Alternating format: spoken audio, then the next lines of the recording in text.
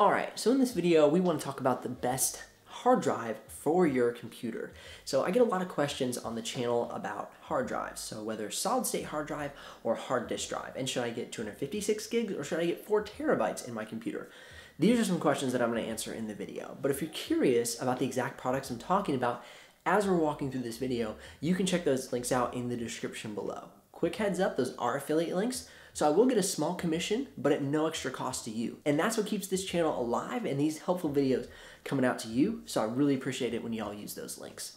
I'm Ben G Kaiser. I've been a graphic designer for a little under a decade now, and now I work as a digital marketing manager, overseeing the digital marketing assets for healthcare providers. So, hard drives. What is the difference between a solid state hard drive and a hard disk drive, and why are these differences important? Well, a solid state hard drive has no moving parts. You think about like a thumb drive.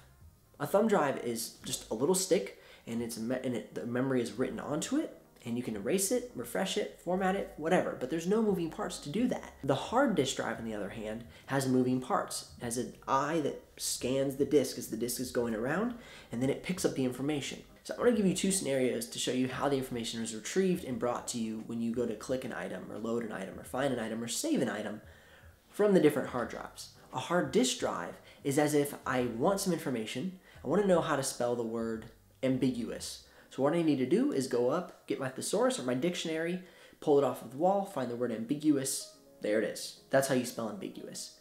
Now, opposed to me having my iPhone, picking up my iPhone, searching ambiguous, and it auto-correcting me. Which one was faster? Well, it's definitely faster to just pull up my iPhone and do a quick search. So think about it as going out, finding the information, and bringing it back, and then opening it up. That's what the hard disk drive is doing. It's going out, it's taking its arm, it's scanning the disk and looking for the information. Whereas the solid state hard drive, there's no moving parts, so it's written directly on the memory.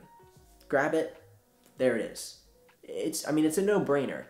But the difference is, is that people find it more expensive to get solid state hard drives. Newer technology, faster, so obviously it becomes more expensive. So as that is concerned, here's what I often recommend people to do if they're on a budget. What I recommend you do is you run your computer off of a solid state hard drive and you have your storage on a hard disk drive. They actually make computers with both hard drives inside of them. If you're curious about those computers, I've listed them in the description below. I've listed some of the, my favorite ones, some that I think have the best performance for, say, graphic designers or video editors or gamers. But personally, my industry is graphic design. So what happens when you have a hard drive that's a solid state and a hard drive that's a hard disk drive is that you allow your computer to run all of your programs and your boot ups on the solid state hard drive. That makes your computer faster because if it's not going out and looking for information all the time, it just loads right then and there. And so when you launch your programs or you're starting up your computer, it will boot up much faster because it's not going out and searching for all the information. And then what you can do is you can save all of your information on the hard disk drive. So the computer boots up and runs the programs off of the solid state hard drive and then saves all of your files and all of your memory and all of your storage, that's on the hard disk drive. So why that's more affordable is say you have like 128 gigs of solid state and you have one terabyte of hard disk drive space. So that gives you some context. Now, as far as reliability is concerned, the solid state hard drive is far more reliable because it does not have the moving parts of the hard disk drive. So if reliability is something you really, really need in your computer, for instance, I'm a graphic designer, and when I was going through school, I had friends who would constantly lose projects because their hard disk drives would malfunction, or something would go wrong, or a file wouldn't get saved, or something would get lost. I rarely saw that happen. If I could probably say it never happened with solid state hard drives. They are far more reliable with the absence of moving parts.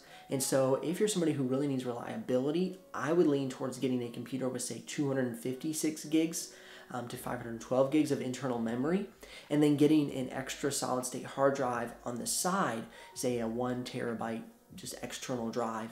And that way you can have you know good performance with great reliability on saving files and still have more storage space externally. It'll be a far more affordable option to you if you're curious about the external drives I recommend, um, again, description below. Check those out. I like the Samsungs a lot. I think they make a really great product, really fast load times, and just reliable. So as concerning to do you need four terabytes of memory in your computer, I would say unless you're on the road and you need as little gear as possible, um, I would not recommend that. It's just, it's simply because it's just really expensive. Uh, if you can have an extra external hard drive and just pop that in your bag, I would do that. Uh, right now, I think the MacBook Pro is peaking out at seven grand to have four terabytes of memory in it.